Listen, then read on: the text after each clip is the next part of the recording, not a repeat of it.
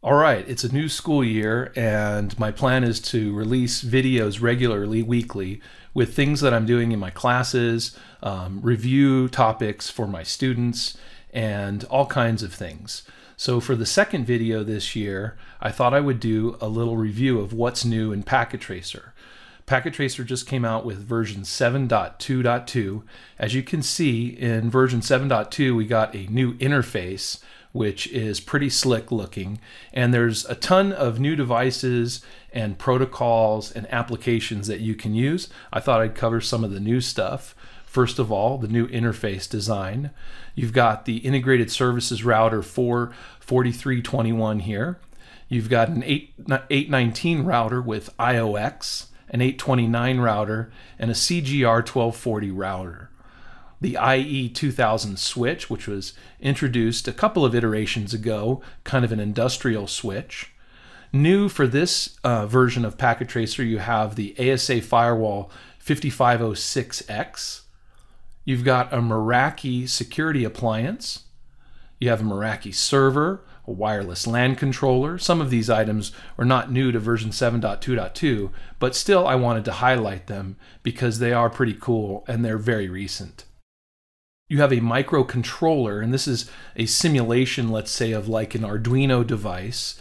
And an SBC here, this is a single board computer, which would be kind of like an, a simulation of maybe like a Raspberry Pi or something like that. This is for your IoT projects that you can simulate.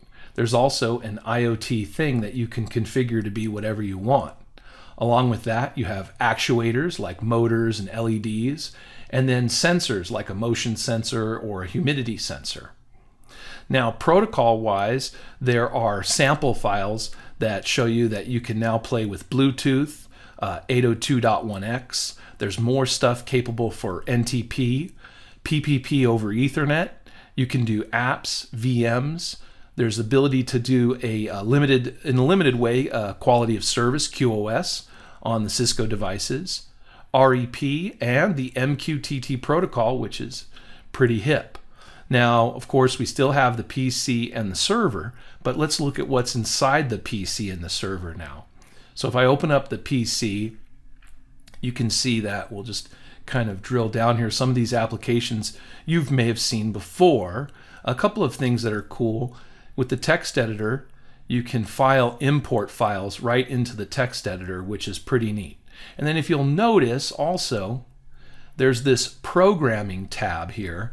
You can actually write your own programs. If I click new here, you can see that you can create your own scripts in JavaScript, Python, or Visual, which is like Blockly.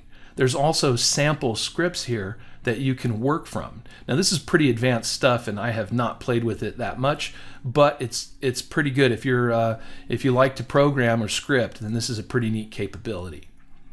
Then you've got the firewall tools. Look at this. This is IOX IDE. You've got a proper Telnet SSH client so that you're not SSHing from the command prompt. Because if this is a PC, we'd probably need some type of SSH client like PuTTY or something like that. So you have a separate client for that.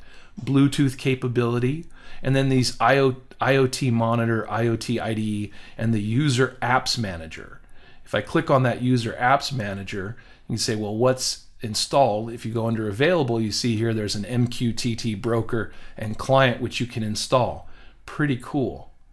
All right, then under the server, if we look under the hood, on the server, here's the server.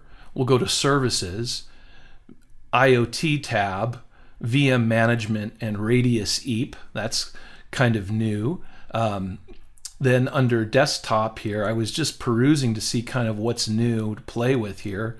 You've got, once again, these IoT and IOX IDE. And then let's see here, there was something here. Ah, AAA accounting.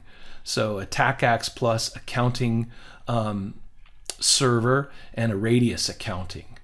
So that's kind of an interesting um, addition to the server. You've also got this programming tab where you can write your own scripts and programs. Anyway, lots of new capabilities with Packet Tracer. So in my next video, I'm going to um, just go over the basics for my new students that are new to Packet Tracer on how to just get started, uh, use this new interface, and start simulating networks. Oh, most importantly, Packet Tracer typically is not freely available if you're not in the Cisco Academy, but you can go to netacad.com forward slash courses forward slash packet dash tracer right from uh, basically cisco.com you can link to here if you go to the cisco networking academy. And then it shows you how to download packet tracer. Basically you need to self-enroll in a, one of cisco academy's self-enroll courses and then you can download packet tracer for free so that's pretty cool. A self-enroll course just teaches you the basics of packet tracer, and it's pretty uh, it's pretty easy. So anyone can have packet tracer if you go to netacad.com and go straight to this course. It's like a packet tracer 101 course. All right, thanks a lot.